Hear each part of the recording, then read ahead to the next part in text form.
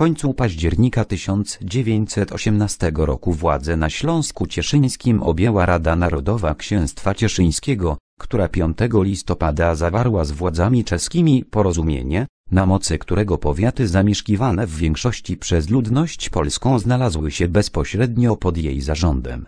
W styczniu 1919 roku porozumienie to zostało złamane przez Czechów, których wojska zajęły wschodnią część Śląska Cieszyńskiego do rzeki Olezy.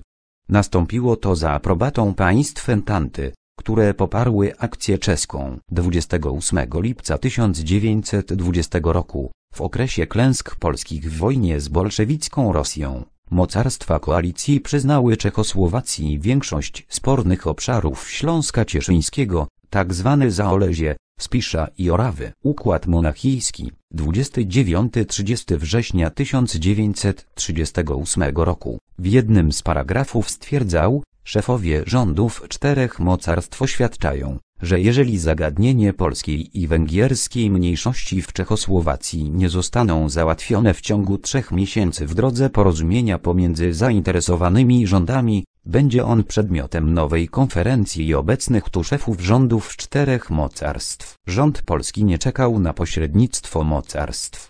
Z Warszawy wystawiono ultimatum do Pragi z żądaniem zwrotu Zaolezia. Żądanie to zostało przez rząd czechosłowacki spełnione.